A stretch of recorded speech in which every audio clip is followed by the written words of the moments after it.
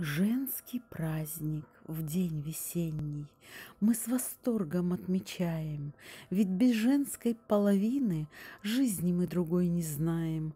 Этот мир не стал бы людным, Чистым, убранным, опрятным, Женских теплых рук забота Сделала его приятным.